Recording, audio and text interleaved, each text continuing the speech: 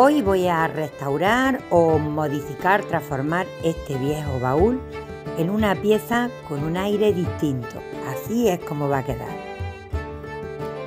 Voy a utilizar esta pintura en color aguacate de la marca Tommy. Es una pintura muy muy resistente y que es ideal para pintar todo tipo de superficie. Esta parte que estoy pintando ahora, de arriba, es chapa, es metálica y que lleva así como una imitación de madera, pero que se veía como demasiado artificial. Así que le he añadido un pelín de agua para que fuera un poco más fluida la pintura y estoy dándole a todo el baúl por todas las partes. Ya que lo tengo totalmente dado, le he dado una segunda capa. La segunda capa se la doy en sentido contrario a la que le he dado en primer lugar y le estoy pintando también todas las tablitas de madera que le sirven de refuerzo al baúl, incluidos también los remaches de la parte de arriba.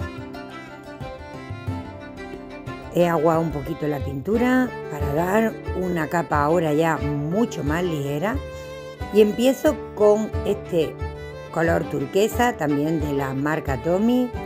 Sigo con esta que es un, un gris azulado, precioso también,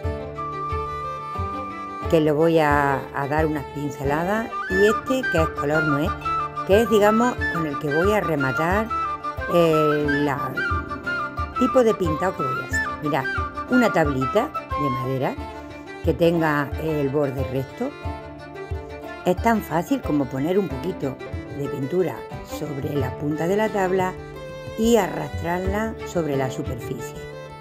De esta manera irá quedando en unas partes sí y en otras partes no. Simplemente ponemos pintura y estiramos. La tabla unas veces se pone más de pie, otras veces se pone un poquito más tumbada, para que no queden todas esas marcas de la misma manera. El método es súper sencillo. Ya os lo hice en una caja de cartón y que os dejaré al final, en pantallas finales, os lo dejaré también para que recordéis esta técnica sobre otro tipo de superficie. ¿Veis? Lo hago en un sentido y en otro. Ahora de abajo para arriba, de izquierda a derecha y así voy dándole a todo. Y ahora ya he cambiado una vez hecho el azul con el gris y lo hago de la misma manera, pero en esta ocasión le voy a poner un poquito menos de cantidad,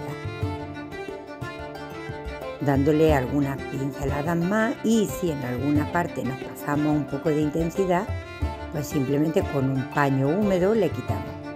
Y ahora ya para rematar, lo que son los colores de fondo, lo hago con este color nuez que tiene así como un toque un tanto oxidado y que queda espectacular. Estas pinturas son extraordinarias porque tienen una dureza impresionante y van a resistir roce y todo tipo de limpieza que vaya a ejercer después sobre el baúl. Son pinturas Natural Pine y, y son ideales para todo este tipo de decoraciones. Una vez que ya tengo todo más o menos con la intensidad que me, me gusta a mí, en definitiva, le empiezo a dar un patinado con betún de Judea y cera. Betún de Judea ya sabéis que es un añejador, un producto que eh, sirve para envejecer cualquier tipo de superficie y que una vez aplicado retiramos con un paño o también podemos diluirlo tanto con aguarrán como con cera.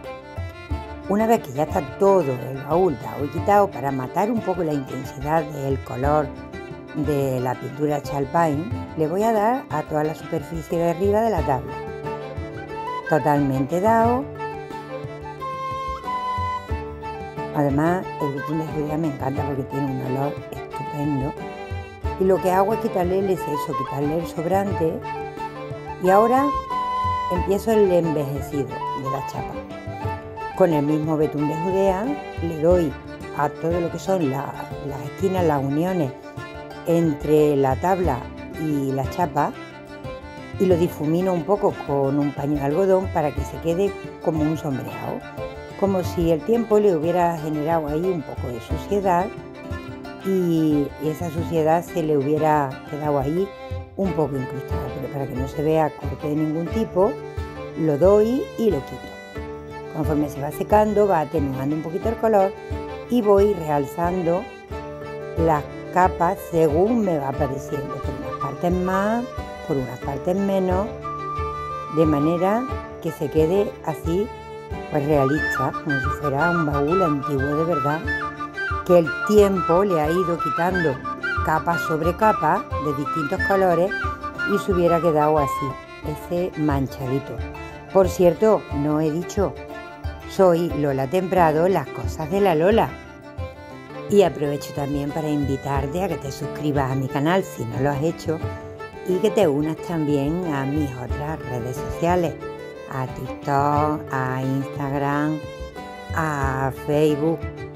Todos ellos vas a encontrar trabajos maravillosos de belenismo, restauración, cocina, de todo, de todo, de todo. Bueno, pues ya estoy viendo que estoy manchando.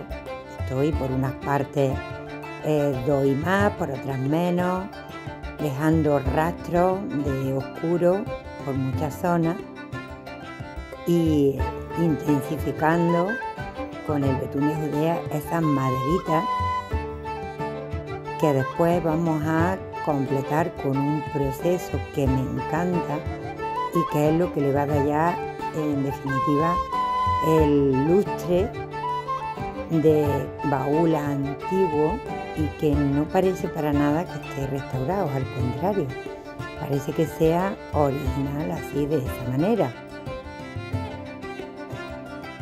Además esta técnica tiene una cosa muy buena y es que no hay que andar perfilando de, demasía. Aquí por las partes interiores hago igual que he hecho arriba, doy y quito, difumino para que quede ese maravilloso sombreado y es una técnica súper fácil como estáis viendo. Bueno, pues así es como queda cuando ya está seco del todo, de un día para otro. Pero yo me gusta hacerlo todavía más viejo, más gastado. Y para gastar una cosa que es lo que hay que hacer. Se puede dejar así, ¿eh? decirme si os gusta así ya, pero a mí me gusta pasarle un poquito la lija. Con mi lija eléctrica voy a pasarle por todo, incluido estos triángulos que tiene, que son metálicos, y esta eh, clavitos o no sé, corchetes, no sé cómo llamarlo, que son también metálicos. Entonces lo que hago es gastar la pintura por partes para que me salga ya la madera. Y de esa manera me va a quedar como mucho más antiguo ya veréis qué lindo cuando esté cepillado, que es lo único que le falta. Y aquí está. Fijaros la mitad que está sin pulir y la mitad que está pulido o lijado. Decidme cuál de los dos os gusta más. Y ya lo tengo aquí puesto en la entrada de mi casa, en el zaguán. Es una pieza de muchísimos años, de muchos, muchos, muchos años y que me sirve de almacenamiento para un montón de cosas.